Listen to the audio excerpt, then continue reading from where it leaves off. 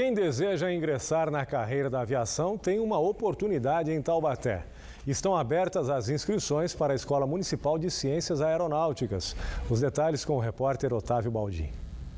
As inscrições abertas são para o curso técnico em manutenção de aeronaves e acontecem até o dia 9 de outubro. Qualificação profissional que decola as chances de inserção no mercado de trabalho, ainda mais nesse momento difícil na economia. São 81 vagas abertas, as aulas começam no ano que vem e o curso é de graça. Sobre isso a gente conversa com o Coronel José Fernando de Lacerda, diretor técnico da ENCA. Coronel, quem pode participar desse curso, do processo seletivo? O pré-requisito básico é possuir o segundo grau completo. Mas nada impede que um aluno do segundo grau que esteja cursando o terceiro ano este ano é, faça a prova do processo seletivo, uma vez que as matrículas só ocorrerão em janeiro. Consequentemente, em janeiro já terá concluído o segundo grau. Agora a gente falou, são 81 vagas abertas e há uma grande concorrência por essas vagas. É, historicamente nós temos tido em média sete candidatos por vaga. Em anos anteriores eram 70 vagas. Esse ano conseguimos disponibilizar mais algumas vagas e estamos na expectativa que se mantenha esse número histórico, pelo menos. As inscrições são feitas aqui na ENCA? As inscrições são feitas aqui na ENCA. A ENCA fica aqui na rua Tomé Portes Del Rey em Taubaté, que é conhecida como a Rua dos Museus, próxima à rodoviária nova e ao Horto Florestal. Tem um custo da, da inscrição, quanto paga?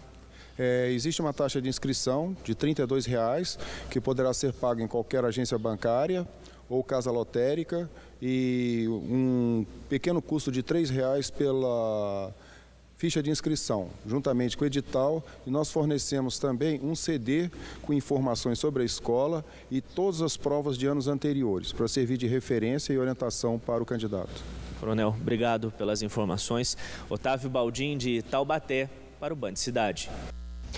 Campeonato Brasileiro de Futebol Feminino. Olha, depois de estrearem na competição com uma goleada de 5 a 0 sobre o Foz Cataratas, as meninas da Águia receberam hoje à tarde em casa o misto do Mato Grosso do Sul, que vinha de duas derrotas consecutivas. E a equipe joseense não decepcionou a torcida e repetiu a dose da primeira rodada. Só que desta vez, o São José dobrou o placar e venceu a partida por 10 a 0. É isso mesmo.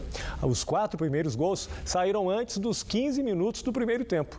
O time foi um rolo compressor sobre as adversárias. Com esse resultado, o São José passa à frente do América de Belo Horizonte no saldo de gols e assume a liderança do grupo.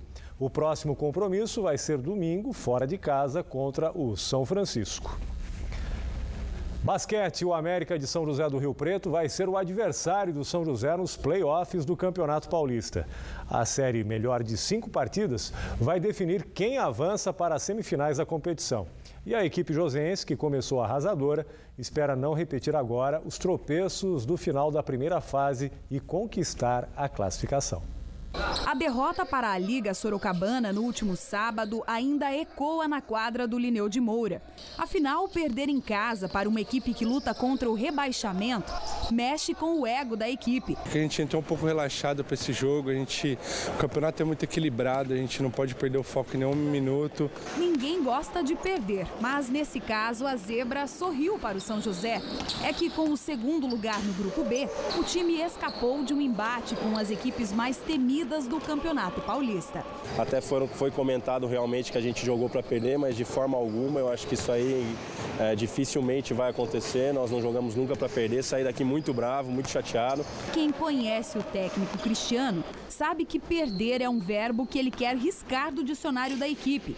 E tem outra palavra preocupando o professor: lesão. O São José sofreu com a ausência dos dois pivôs na última partida, o Renato e o César, que tem feito diariamente fisioterapia no polegar esquerdo.